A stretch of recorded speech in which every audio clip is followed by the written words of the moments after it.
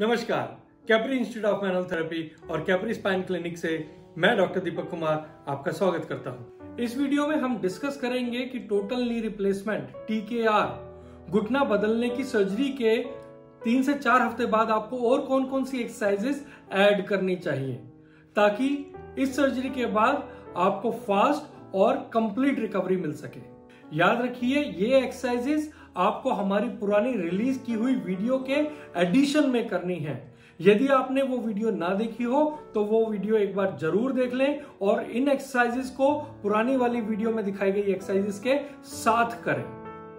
इन exercises को करते समय किन किन सावधानियों को बरतना चाहिए, कब करना चाहिए, कैसे करना चाहिए, उसके लिए भी हमने एक वीडियो ऑलरेडी रिलीज़ की हुई है, हिंदी में भी और इंग्लिश में भी। उसको भी आप ज़रूर देख लें ताकि इन एक्सरसाइजेस से आपको बहुत अच्छे रिज़ल्ट मिले। जैसे कि मैं अपनी पुरानी वीडियोस में भी लगातार बोलता आ रहा हूँ कि इन एक्सरसाइजेस को करते समय किसी भी तरीके का दर्द नहीं होना चाहिए। हल्का फुल्का स्ट्रेस या स्ट्रेन आएगा, वो भी खुद चले जाना चाहिए। ओवरडू नहीं करनी है इन एक्सरसाइजेस को। दिन में सिर्फ़ दो बार करनी है, सुबह और शाम, और हर बार दस दस बार आपको ये एक्सरसाइजेस करनी है। सीधे लेटने के बाद अफेक्टेड या ऑपरेटेड लेग को एक या दो पिलो के ऊपर रख लें और पिलो को इस तरीके से एंकल के नीचे रखें। ऐसा रखने के बाद आप अपनी क्वाड्रिसेप मसल्स को टाइट कर सकते हैं और उसको पाँच सेकंड के लिए होल्ड करें। तथा इसके अलावा आप पंजे को भी ऊपर से नीचे की तरफ़ चला सकते हैं। इस एक्सरसाइज को करने से आपको तीन फ़ायदे होंगे। एक तो क्वाड्रिसेप मसल्स भी आपकी स्ट्रेंथन हो जाएगी, पैर की स्वेलिंग भी आपकी उतर जाएगी और जो कि अक्सर देखा जाता है कि पीछे का कैप्सूल नी जॉइंट का कैप्सूल टाइट हो जाता है तो वो नी जॉइंट का कैप्सूल भी टाइट नहीं होगा। मैं रिकमेंड करूँगा कि दिन में तीन बार आधा आधा घंटे के लिए पैर को इस तरीके से रखकर लेट जाएँ। एक्सरसाइज मैं सिर्फ़ पाँच से दस बार करने के लिए बोल रहा हूँ, लेकिन लेटने के लिए मैं बहुत बता रहा हूँ कि दिन में तीन बार आधा आधा घंटे के लिए पैर को इस तरीके से रखकर लेट जाएँ। यदि पीछे का कैप्सूल टाइट हो गया हो और घुटना पूरा सीधा ना हो रहा हो तो इस तरीके से एक पिलो को काफ मसल के नीचे लगाकर और टॉवल को इस तरीके से प्लेस करें कि ये घुटने की जॉइंट लाइन से थोड़ा सा नीचे जाए। उसके बाद में अटेंडेंट अपने हाथ को टीबिया और फिबला के अपर एंड पे रखकर या जॉइंट लाइन के नीचे एक हाथ इस तरीके से और एक हाथ इस तरीके से ऊपर इन दोनों हाथों से धक्का नहीं देना है, सिर्फ़ पेशेंट को सपोर्ट करना है बहुत थोड़ा सा। और अब पेशेंट को बोलें कि अपनी क्वाडिसप्स मसल्स को थाई मसल्स को टाइट करें। टाइट कीजिए जरा। और जब पेशेंट टाइट करे तो इस वाले हाथ को नीचे और इस वाले हाथ को थोड़ा सा ऊपर की तरफ़ पुश करें आप। ढीला छोड़िए। फिर से पुश कीजिए और ढीला छोड़िए। फिर से पुश कीजिए और ढीला छोड़िए। ये बेसिकली एंटीरियर ग्लाइड है नी जॉइंट का एक्सटेंशन गेन करने के लिए। घुटने के दर्द में अक्सर देखा जाता है कि बाहर का ये स्ट्रक्चर टाइट होता है, जिसे हम लैटरल रेटिनोकुलम भी कहते हैं, और ये टाइट होने की वजह से पूरा पटेला बाहर की तरफ़ शिफ्ट हो जाता है। तो इसलिए हमें ये लैटरल रेटिनोकुलम को रिलीज़ करना या हमें बोलना चाहिए कि इसे सॉफ्ट करना ज़रूरी होता है। उसके लिए दो उंगलियों से हल्के हाथ से पटेला के आउटर बॉर्डर पे और बोन के बीच में जो आपको हल्का सा गड्ढा महसूस होगा, वहाँ पर हल्के हाथ से इस तरीके से मसाज करें। स्लाइट डिस्कम्फर्ट आपको होगा ऐसा करने पे, लेकिन दर्द नहीं होना चाहिए। डिस्कम्फर्ट होना ठीक है। इसी तरीके से इस चीज़ को आप हल्के से घुटने को मोड़ कर भी आपको करना चाहिए।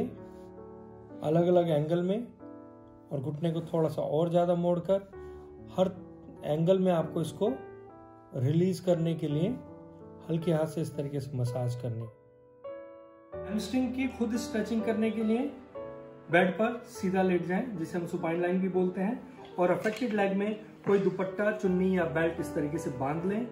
उसके बाद में आप पेशेंट के हाथ में बेल्ट को दे दें। दूसरा पैर सीधा ही रहेगा। अब इसको आप अपनी तरफ़ खींचिए। और अफेक्टेड नी को भी आपको सीधे ही रखना है। खींचिए और वापस लेके आए। फिर से खींचिए उसको। और जब आपको स्ट्रेच फील होना शुरू हो जाए तो वहाँ पर पाँच से दस सेकंड के लिए होल्ड करेंगे और फिर वापस लेके आएँगे। एक बार फिर से करके दिखाएँ। पाँच से दस सेकंड के लिए होल्ड कीजिए और फिर वापस लेके आए। इलेक्ट्रो मसल्स जो कि थाई के अंदर की मसल्स होती हैं, उनको सेल्फ स्ट्रेचिंग करने के लिए एक बहुत अच्छा तरीका है जिसमें दर्द भी कम होता है। इसमें आप बेड पर सीधा लेटने के बाद में पैरों को बेड के दोनों तरफ़ इस तरीके से लटका लें। इसके लिए ज़रूरी है कि आपका बेड बहुत चौड़ा ना हो तो आप किसी स्टडी टेबल या सोफे या सेठी के ऊपर भी लेट के इस एक्सरसाइज को कर सकते हैं। इस तरीके से लेटने के बाद आप सहारा दे के पेशेंट को बिठा दीजिए ताकि दोनों हाथ आगे रखे जाए। दोनों हाथ आगे रखने के बाद आर्म मसल्स को यूज़ करते हुए जितना आसानी से आगे जा सकते हैं, उतना आगे जाएँ, ताकि आपको थाई के अंदर वाली मसल्स में स्ट्रेच फील होगा फिर वापिस आए। जब आपको स्ट्रेच फील हो तो वहाँ पर पाँच से दस सेकेंड रुक सकते हैं और वापस चले जाएँ। याद रखें बैक मसल्स को आगे झुकने के लिए नहीं यूज़ करना है आर्म मसल्स को ही यूज़ करना है, और जितनी आसानी से कर सके इस एक्सरसाइज को, उतना ही करना है, ज़्यादा स्ट्रेस नहीं लेना है। ऐसे दस बार कर सकते हैं, उसके बाद आराम से फिर से सहारा लेके आहिस्ता से लेट जाएँ। किसी भी ऊँची चेयर या टेबल पर इस तरीके से बैठ जाएँ और घुटने को चेयर से काफ़ी बाहर रखें। अब उसके बाद अफेक्टेड लेग को अनअफेक्टेड लेग से पीछे की तरफ़ धक्का दें। इससे आपको रेंज ऑफ़ मोशन बढ़ाने में काफ़ी मदद मिलेगी। इस तरीके से लगा के इसको पीछे की तरफ़ धक्का दें और फिर वापस ले आए। फिर से पीछे की तरफ़ धक्का दीजिए और वापस ले आए। इसी के अंदर अगर आप चाहें तो कॉडिसप मसल्स को यूज़ कर सकते हैं ताकि वापस आते हुए आपको रेजिस्टेंस मिले। इससे फिर से हमें एक तीर से दो निशाने होंगे। जाते हुए हमें रेंज ऑफ़ मोशन मिलेगी और वापस आते हुए हमारे कॉडिसप मसल्स की स्ट्रेंथनिंग एक्सरसाइज भी हो जाएगी। फिर से वापस धक्का दीजिए। वहाँ तक धक्का देना है जहाँ तक आपको हल्का डिस्कम्फर्ट फील हो। दर्द नहीं होना चाहिए। और वापस आते टाइम इस पैर से रेजिस्टेंस देना है अफेक्टेड लेग पे या ऑपरेटेड लेग के ऊपर, ताकि कॉडिसेप्स की भी स्ट्रेंथनिंग एक्सरसाइज हो जाए। किसी भी ऊँची टेबल या चेयर पर इस प्रकार से बैठ जाए, जिसे हम हाई सीटिंग पोजीशन भी बोलते हैं। ऐसे बैठने के बाद अपने अफेक्टेड लेग या ऑपरेटेड लेग की हील को अंदर की तरफ़ लेके आए इस तरीके से, और फिर बाहर की तरफ़ लेके जाए। इस तरीके से हिप जॉइंट के अंदर इंटरनल और एक्सटर्नल रोटेटर की स्ट्रेंथनिंग शुरू हो जाएगी। रुक जाएँ। और यदि आप चाहें तो इस जगह पर एंकल के पास में आधा या एक किलो का वेट कफ भी बाँध सकते हैं। किसी भी ऊँची चेयर या टेबल पर इस प्रकार से बैठ जाएँ, जिसे हाई सिटिंग पोजीशन भी बोलते हैं।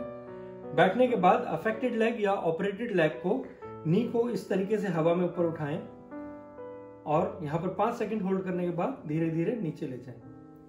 फिर से ऊपर हवा में उठाइए और फिर नीचे ले जाए। ऐसा करते समय आप अपने हाथ को टेबल पर साइड में रख सकते हैं, जिससे कि आप पीछे की तरफ़ ना झुके। बहुत मरीजों में ऐसा भी देखा गया है कि उनकी ग्लूट मसल्स एक्टिवेट ही नहीं होते हैं, या काम ही नहीं करते तो उनको एक्टिवेट करने के लिए हमें पेशेंट को अफेक्टेड लेग को या ऑपरेटेड लेग को थोड़ा एक्सटर्नल रोटेशन में इस तरीके से खड़ा करवाना है। ताकि दोनों पंजों के बीच में एक टी बने। ऐसा बनने के बाद पेशेंट को अपने दोनों हाथ ग्लूट के ऊपर रखने के लिए बोलिए और फिर पेशेंट को दोनों हिप मसल्स को आपस में स्क्वीज करने के लिए बोलिए। ढीला छोड़िए, फिर से स्क्वीज कीजिए। ढीला छोड़िए स्क्वीज कीजिए और पाँच सेकंड के लिए होल्ड रखिए। इस तरीके से ग्लूटियल मसल्स का एक्टिवेशन सिखाना बहुत इजी होगा और स्टैंडिंग एक्सरसाइज भी बहुत अच्छी होगी। पेशेंट को एक फ्लैट सरफेस पर बिल्कुल सीधा खड़ा करके हाथ में कोई भी सपोर्ट चाहे वो रेलिंग हो या चेयर हो, या आप खुद सपोर्ट कर सकते हैं ताकि पेशेंट के गिरने की संभावना ना रहे। और फिर उसको अपने पंजों के ऊपर इस तरीके से खड़े होने के लिए बोलिए। और वापस चले जाएँ। और अगर पेशेंट कर पा रहा है तो ऐसे पाँच सेकंड के लिए होल्ड करने के लिए बोलिए और फिर वापस। एक बार फिर से और फिर वापस। इसी पोजीशन में पेशेंट को हील के ऊपर भी आप खड़े होने के लिए बोल सकते हैं। वापस। और अगर पेशेंट कर पा रहा है तो उनको पाँच सेकंड के लिए होल्ड करने के लिए बोलिए। पीछे नहीं झुकना है आपको, सिर्फ़ पंजे को ऊपर उठाना है। आप सपोर्ट लेके रखिए, ताकि पेशेंट गिरे ना इम्बैलेंस ना हो। वेरी गुड इसी तरीके से पेशेंट को एक पैर आगे, एक पैर पीछे रखने के लिए बोलिए।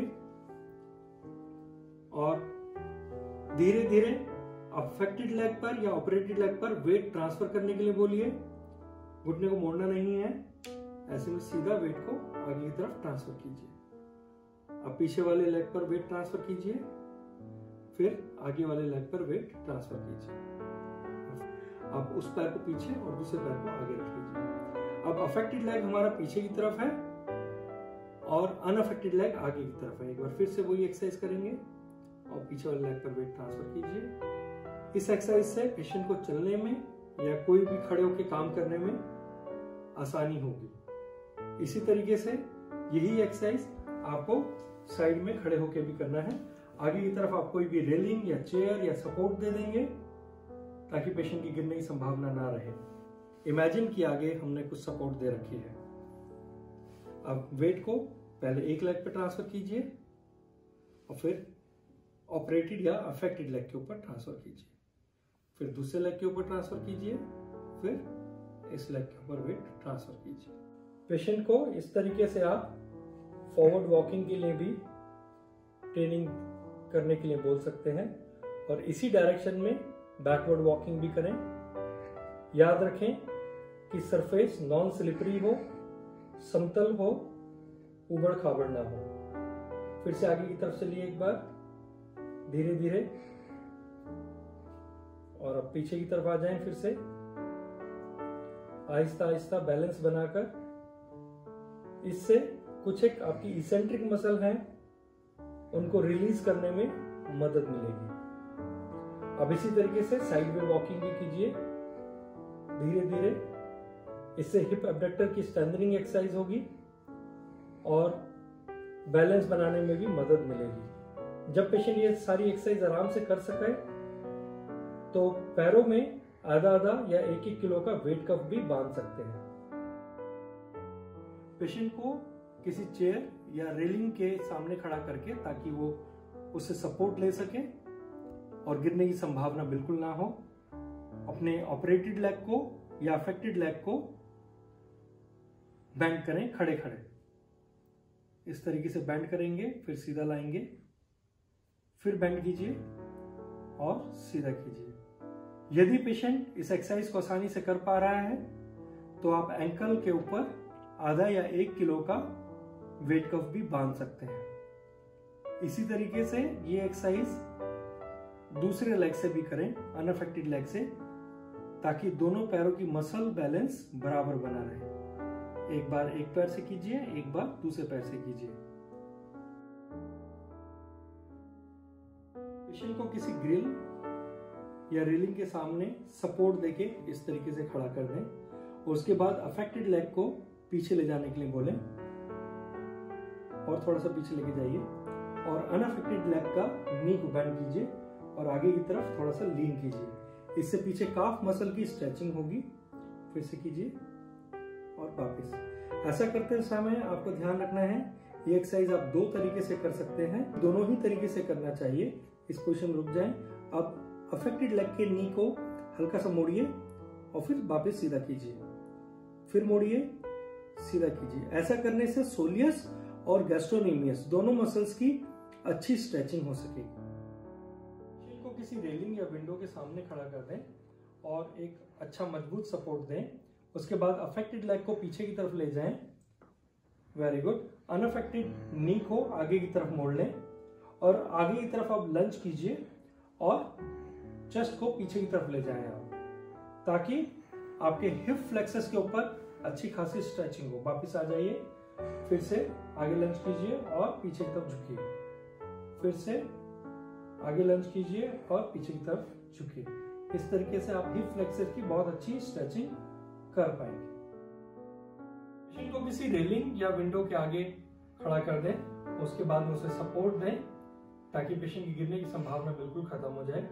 उसके बाद अफेक्टेड लेग को पीछे की तरफ़ से क्रॉस करें, ताकि बाहर के हिस्से में उसको स्ट्रेचिंग फील हो। और ऐसा करने के बाद उसे अनअफेक्टेड साइड में हल्के से धीरे धीरे बैंड करने के लिए बोलिए, फिर वापस आए। फिर से बैंड कीजिए और फिर वापस आए। ध्यान रखिए, ये एक्सरसाइज आपको उतनी करनी है जितनी आप आसानी से साइड में झुक सकते हैं। बहुत ज़्यादा ना करें और अपना बैलेंस बनाए रखें। यदि आप चाहें तो हमारी वेबसाइट कैपरीस्पाइन पर जाकर ऑनलाइन कंसल्टेशन की भी फैसिलिटी ले सकते हैं। अगर आपको कोई भी क्वेश्चन हो क्वेरी हो तो कमेंट बॉक्स में जाकर ज़रूर पूछिएगा। और यदि आपके किसी फ्रेंड या रिलेटिव को इस वीडियो के अंदर दी गई इंफॉर्मेशन की ज़रूरत हो तो उनके साथ ज़रूर शेयर कीजिएगा, ताकि आपके ज़रिए उनको भी फ़ायदा पहुँच सके। अगर वीडियो पसंद आई हो तो लाइक का बटन ज़रूर दबाइएगा और सब्सक्राइब करने के बाद बेल आइकन को ज़रूर हिट कीजिएगा, ताकि आपको हमारी health related educational video time to time आसानी से मिलती रहे। इस वीडियो को ध्यानपूर्वक देखने के लिए आपका बहुत बहुत धन्यवाद। See you soon on some other topic